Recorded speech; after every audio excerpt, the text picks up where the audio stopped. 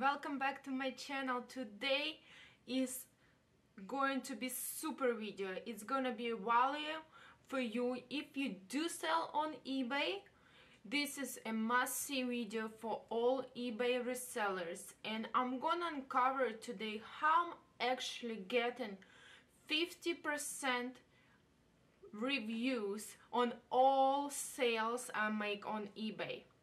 So let's begin you know it's very hard to make your customers actually to go back after they receive the item you're selling on eBay on any other platform and leave you a review. Of course it is a good thing if they leave a positive review but also you don't want a negative reviews on your account. So i'm gonna talk about only positive reviews today because usually people don't you know don't contact you at all after they get their purchase they happy they forget about you. So i have two tips to share on how you can get them to actually go back and you know just leave your review without you contacting them. So tip number one to get a positive review you will have to make them feel good and also remind them there is a, such a thing that reviews on ebay you know? I have this um, trick i learned somewhere a couple years ago. I have been selling on ebay for about maybe seven years now since 2012 for sure. So there is a text i also always include in my here we are. I hope you can see it. This is what i write to people. I will leave the text below this um, video. This is simple photo, uh, photo card. I order a bunch of them when they are on sale in cvs or walgreens.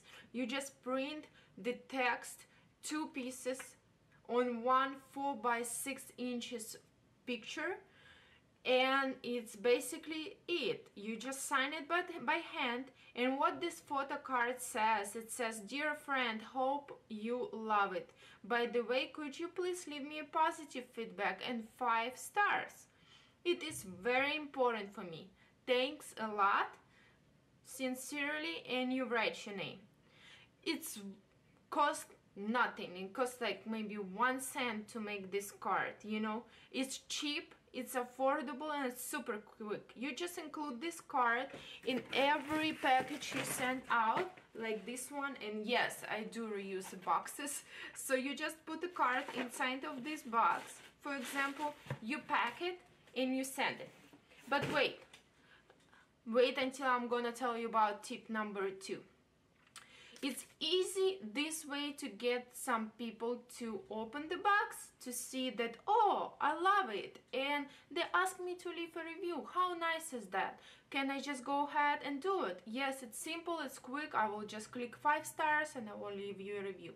So tip number two which makes it even more easier for them to do so just include some small gift or small token of appreciation for people to do so. What I do for past couple years, it's very easy. Before, I was ordering some cheap stuff uh, from online or I would go to dollar store to buy some small pen or present or anything to include with the package I'm sending to my customer no matter what I sell but right now I have a better tip this is what I include it's just a gum. So I do include not all of them. This is a pack of 15 sticks. Double mint. Yeah a lot of people like them so it's easy to and it smells good too. So I just take one gum. I get a card. I stick it to the back of the card and I put it inside of the package. That's it. This is a magic. Why gum though because everyone likes gums. You know they will throw it in their purse and next time they need the gum they will remember about you. They will remember where this came from. Easy right? It's so so easy to get them to think about this and go again and leave your review. So those my two tips. This gum cost only like what one dollar? I hope you can see it one dollar for 15 pieces so it's what like couple cents.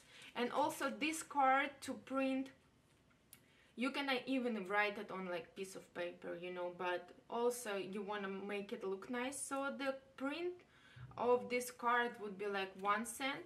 So it's only like five cents extra money that you put in in five star feedback. So um, according to my account for the past couple years don't quote me i don't remember exactly when i started doing it i gotten every second feedback for my seller account. So every second person i sold to left me five star review.